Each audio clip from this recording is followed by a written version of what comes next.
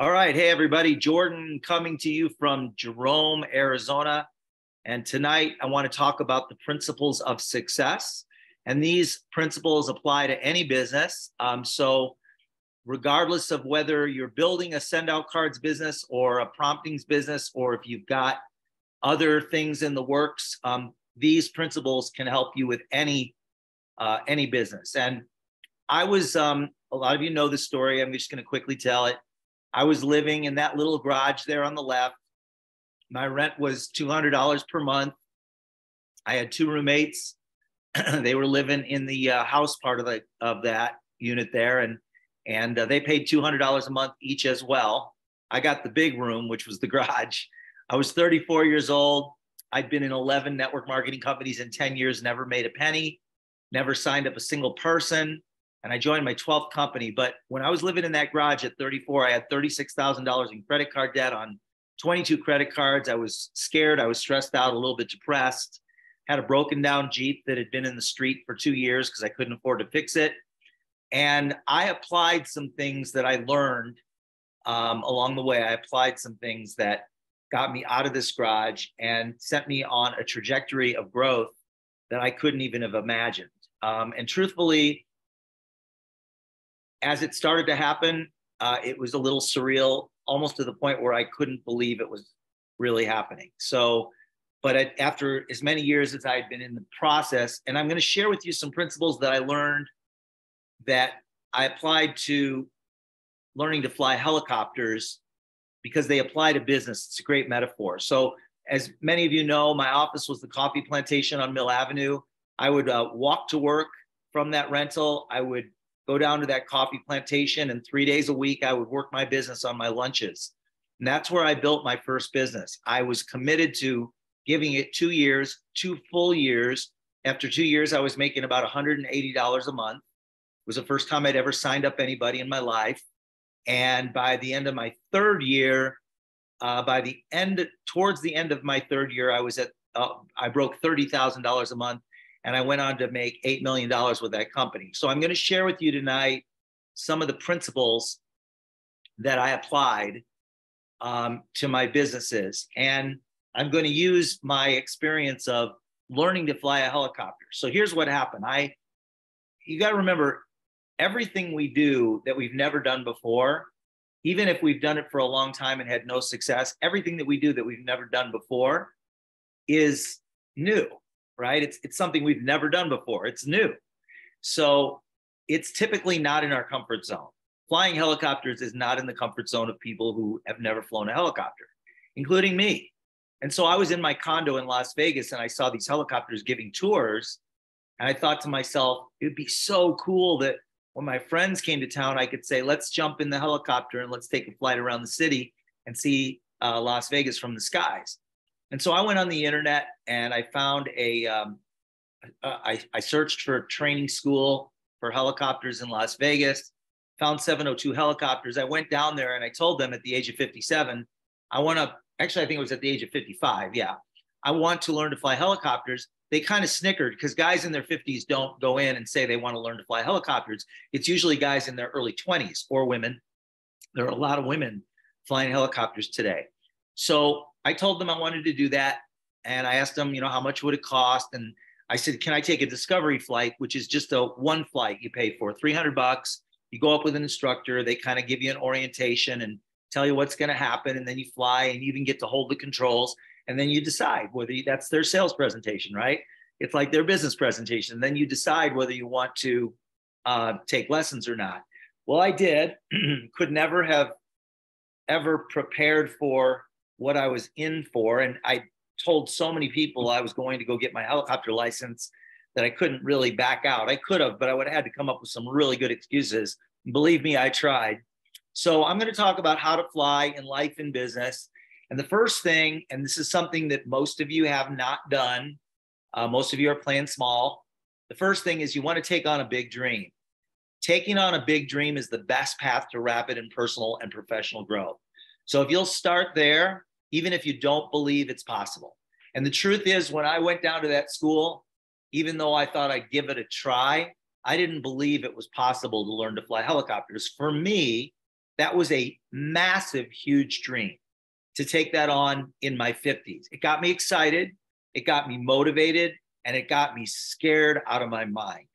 And if your dreams don't scare you, then it's probably not big enough. Well, this dream scared me, and I took it on. And I'm going to share with you 10 lessons that I learned, 10 lessons that I applied to any business I'm involved in. And uh, here we go. The first one is investment. I had to invest $75,000 and 150 hours of my personal time, which means I had to give up 150 hours because I was already doing stuff during those 150 hours during the day when I wasn't sleeping.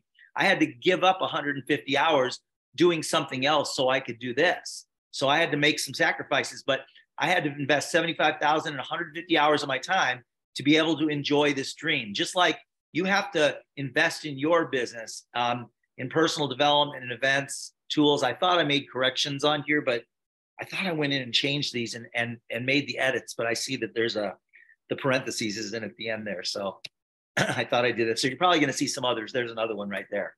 The second one is sacrifice. Um, I had to find 150 hours to the tune of anywhere from one to three hours a week. And then I'd be gone for a couple weeks and come back and try and make it up. Uh, you'll need to make business a priority um, and other things will need to take a back seat for a while until you're fully up and running. And that's the nature of learning to do something that is going to take you to a new level in your life. And again, you may not want to learn to fly helicopters. Uh, you may not want to make $100,000 a month, but you might want to be able to just have a lot less stress in your life and be able to take vacations more often and travel. Or you might want to be able to take your kids or your grandkids places that you can't now because you don't have the funds. So it's a sacrifice in a sense, in that you have to give up some stuff in order to make space for whatever it is you're trying to build. The third thing that I had to deal with was my fears. Uh, and the fears felt real. I had to face my fears. In fact, sometimes the fears were so big that I would start, my brain would start to make up excuses why I couldn't get down to the school that day. And sometimes I had to force myself to get in the car and go down there because there were, I knew there were things I was going to be doing that day that I was not super excited about because it was so far out of my comfort zone. I had to have faith that my instructors are going to save my ass every time I do something stupid, which you always do. And so um, this was something that if I wanted to fly, if I wanted to have the dream to fly, I had to face my fears. And uh, the more you practice, the more confident you get. And there's there's absolutely I don't know of any other way around it other than just to continue to do the things that you're uncomfortable with until you're comfortable with them. And why and this is the reason you got to have a big dream because if your dream's not big enough, you'll throw in the towel.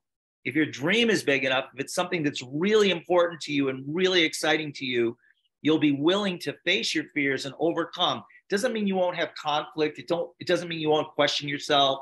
It doesn't mean you won't want to quit at times. But you'll always go back to your dream. Like, why am I doing this, and why is it important to me? The fourth thing was practice. I had to practice the fundamentals in the air over and over and over again in motion, just like in business. You have to practice in real life, uh, not just in the classroom. It's not like just going to training and hoping things happen. Practicing with real potential customers and affiliates, falling flat on your face over and over again. Heck, I fell on my face, flat on my face for 11 years before I had my first win in network marketing. I didn't have a single win other than I was learning. I didn't have a single win in network marketing for my first 10 years, 11 companies. So, in order for you to master the skills, you have to practice in real life, not just in a classroom or in a training. And so I went up week after week after week after week with an instructor. And every time I would screw up, they'd grab the controls and save me until I could get it over and over and over and over again. Number five is solo.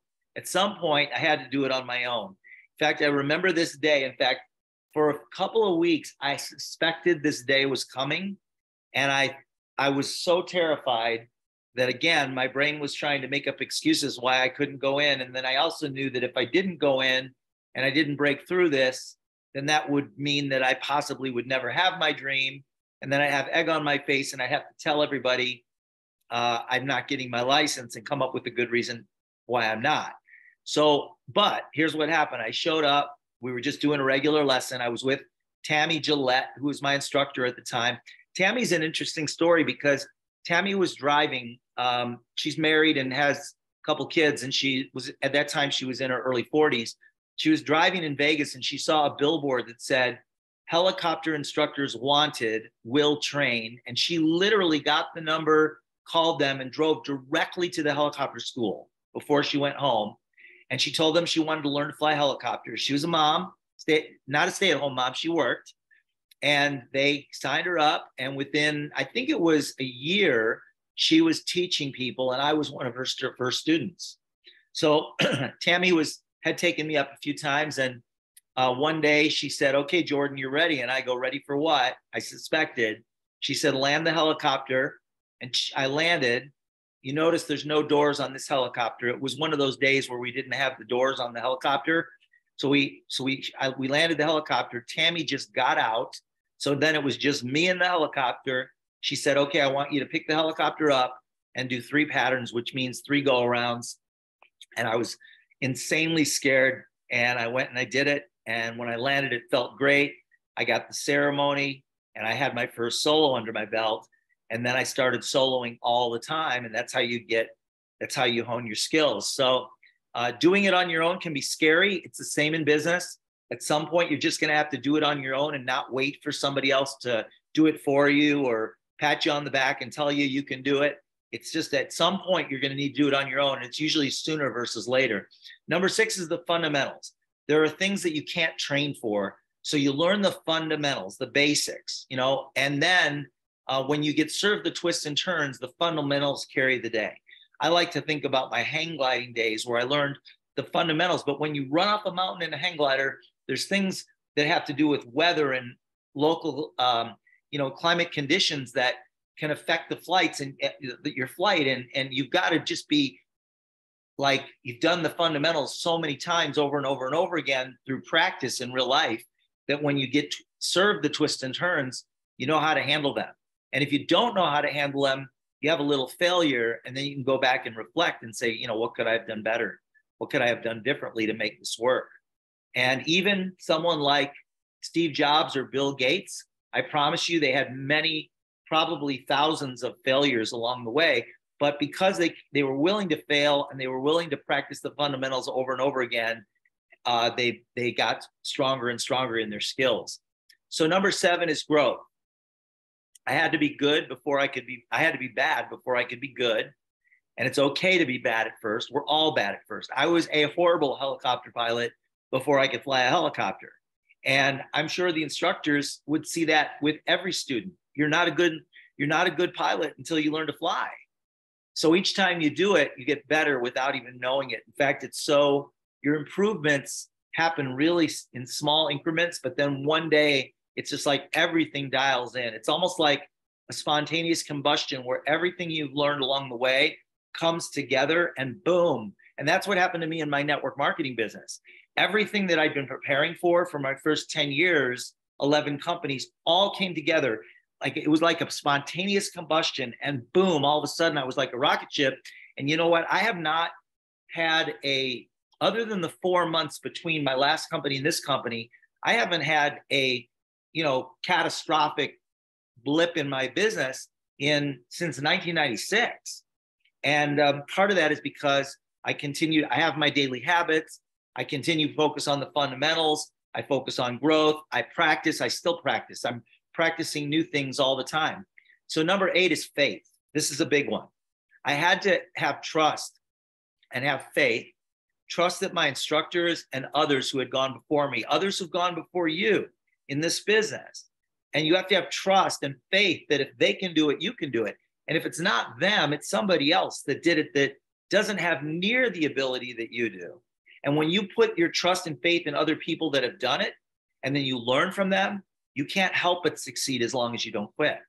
So it's important to have faith and to faith is what? Uh, uh, how do you define it? Believing in things that are not seen. There's actually a definition. I don't remember it, but I should probably put it on that slide.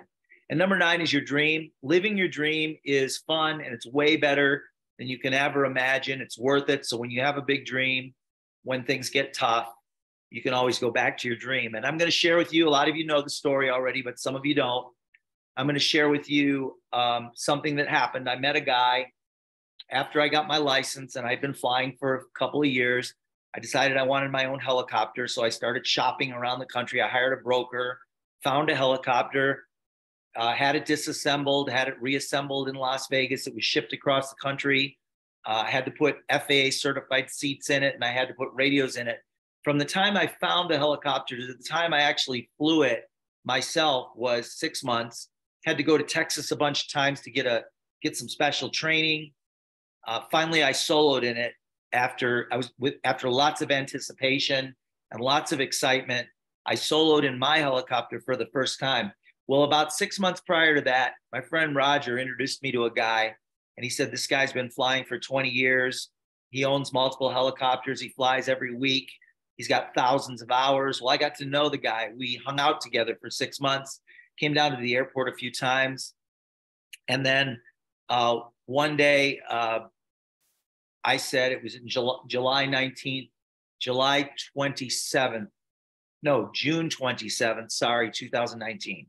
June 27th, 2019, I said, Eric, do you want to fly with me? Go out and fly my helicopter. And he said yes. And we went down to the um, to the airport and we pushed my helicopter out onto the tarmac on the little helicopter pad, which is in a little bit of a confined area, which is not dangerous. It's just a confined area. There was a 150 gallon fuel tank to my left. There was a um, there was a fuel cart. There was a guy in the fuel cart. There's a parking lot on the other side of a chain link fence, and there's a wall behind us. And uh, I, it was 108 degrees that day, and I picked the helicopter up off the ramp. So we were hovering, and then I turned. I asked the guy, "Do you want the controls?" And he said, "Yes, it's got dual controls." He said, "Yes," and so I turned my controls over to him, and within a quarter of a second, the helicopter was out of control. The it, it tipped up, the tail flipped around and hit a 150 gallon fuel tank while we were in the air. And I'm going to let you see the crash if you haven't seen it. This was off the video surveillance cameras at the airport. I had to learn to bounce back. My crash took me, uh, nearly took me out, both physically and mentally. It didn't take me out physically, it almost took me out mentally. And here's the example. So if you look right next to the helicopter there, there's a 150 gallon fuel tank. I turn the controls over to him. He now has the controls. The guy's in that cart. The tail rotor hits the 150 gallon fuel tank. He runs. Helicopter breaks into a million pieces, and we come to a stop. And then within a matter of seconds, the people from inside the the uh, hangar come out and start pulling us out of the helicopter. We're standing there in this heap of wreckage, and there's fuel, like a big puddle of fuel all around.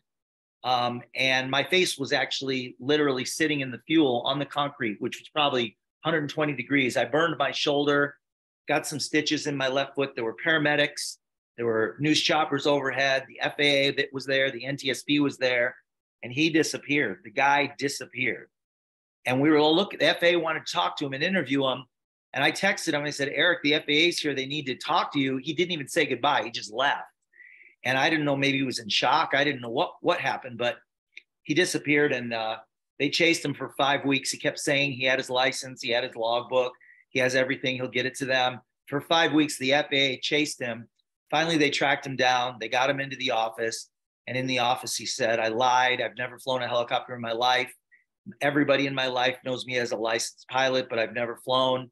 And um, he um, he wrote a report if you go on YouTube and you put in fake helicopter pilot crashes helicopter, fake helicopter pilot crashes helicopter, you'll see this crash video. You'll see my accident report to the FAA. You'll see his handwritten accident report to the FAA, which matches mine about him being a liar and how he lied to me and all the other pilots and the mechanics and all his friends and his girlfriend and his mom and everybody for years and years and years and uh, they told me they were going to do an investigation a one year investigation. And then after that, they told me they were going to arrest him because it is a felony. Uh, a day and a half later, the pandemic was announced and hit, and they shut everything down, including the FAA offices. And he's got nothing. He owns no helicopters. He doesn't even own the car that he drives, but he got home, he got scot free because two years later, when I contacted the FAA, they said they pretty much just cleared off their desk and started from scratch. So that was uh, my helicopter story. But the bottom line is that was my dream. This was a big dream. It was so big that not even a crash was going to take me out. I needed to get back up on the horse. And so four months later, I went to uh, my friend Brian Lorenz, who's a certified flight instructor. And I said, Brian, would you take me up? I'm scared out of my mind, but I need to get back up in the helicopter. And we got in the helicopter, and uh, he was just there as my emotional support.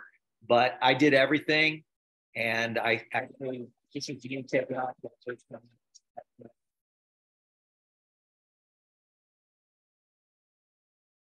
So the crash was on June 27, 2019, and I flew again on December 23rd, 2019. And I've probably flown 60 times since then. I take people up. I took a couple of friends of mine up last week and we flew around Red Rock and just had a blast. So uh, those are the 10 lessons. Um, the last lesson is that when you get knocked down, you're going to get knocked down hard. There's really no way around that. When you get knocked down, it's important to get back up on the horse and not let that be your demise. Your dream needs to remain intact, and you need to remind yourself why you got started in the first time, uh, why you got started in the first place.